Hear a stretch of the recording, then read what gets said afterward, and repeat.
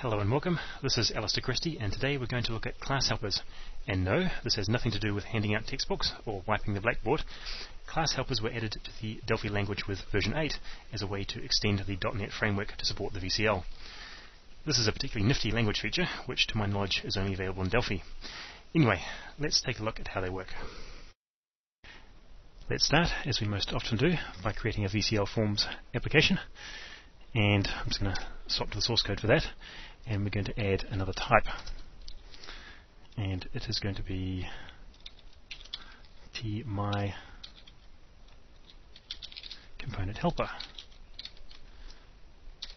And the class helper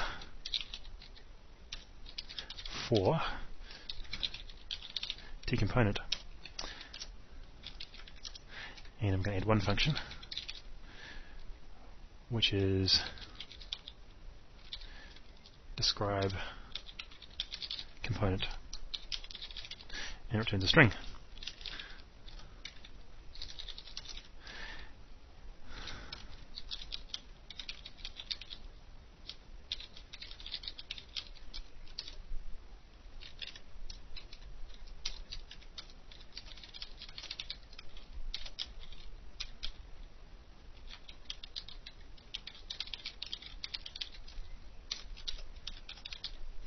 So these properties, class name and name, are part of um, T, the T component. So uh, to demonstrate this, let's just add a button, a label, uh, and a checkbox.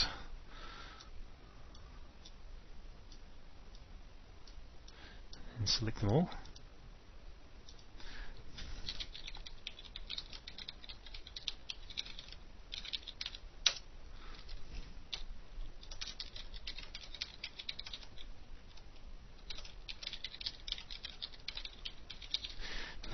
Descend from T component, so we'll um, cast them as such. And we've got this describe component um, method, and it it looks like it's attached to T component, but of course it's not. It's part of our class helper. So if we run that, we click on our our button, and the class is button, and it's the instance name is button one, and likewise for the checkbox and label.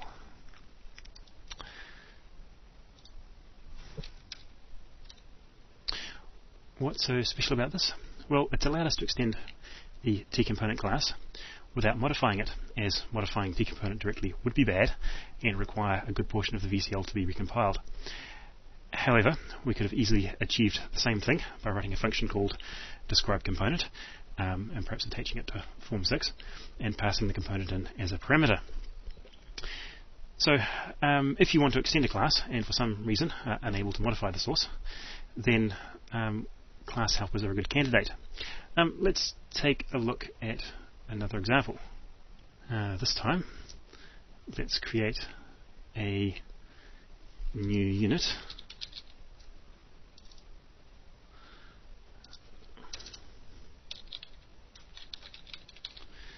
I'm going to use classes because what I'm going to do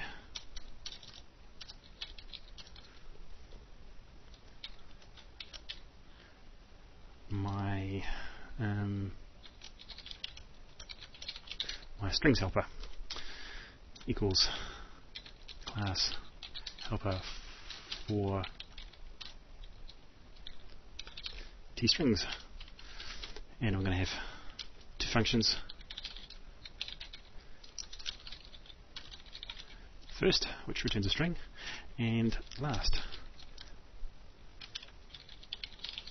which also, oops, which also returns a string. And count is zero, then result is blank, else result is the first string.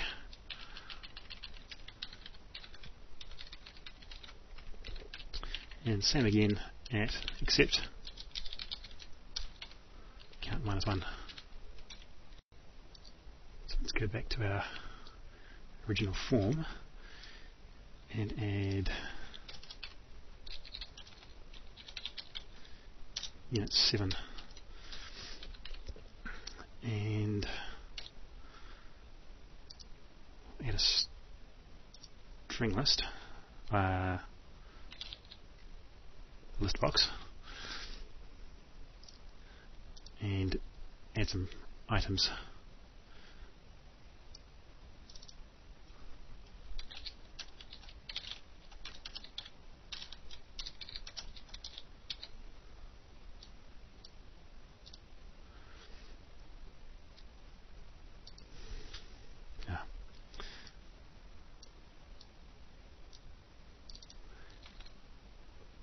And we can go um, box one dot items dot first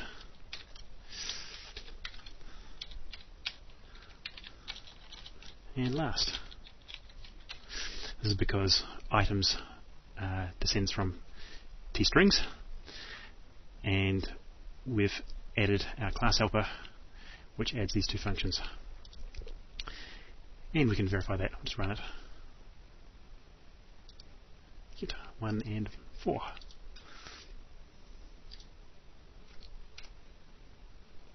Let's just go back to our class helper for a second. And if I try and add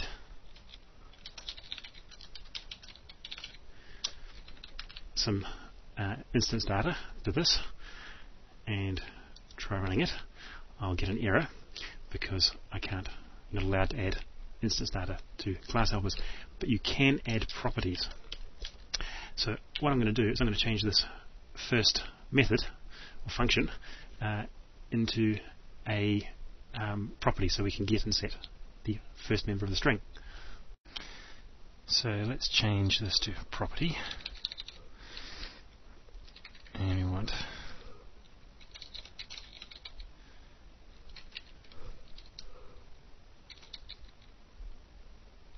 read get first.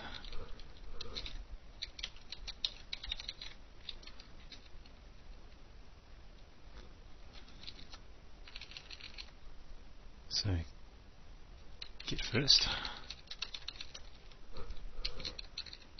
We want that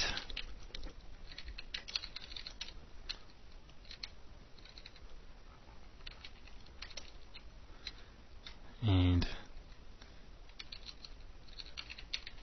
set first. Um, count equals zero. Then add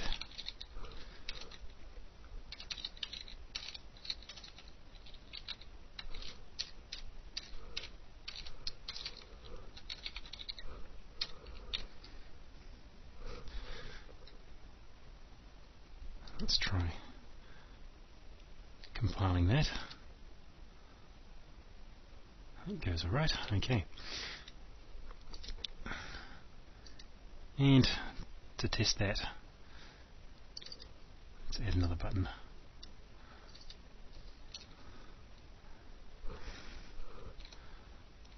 Um, list box one dot first is assigned. Um, random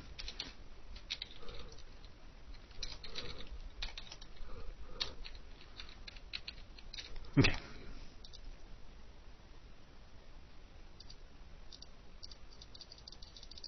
and I'd say that works pretty well that's pretty much what I wanted to show you about um, class helpers as you can see, class helpers extend to classes. You can even do this to classes you only have compiled units for. You can add methods and properties, but you cannot include instance data. There are other things like adding constructors, overriding virtual methods, class data, and seeing properties in the object inspector, which I have not yet experimented with, so we may see a part 2 in the future. Thanks for taking the time to watch. I hope you feel it was time well spent.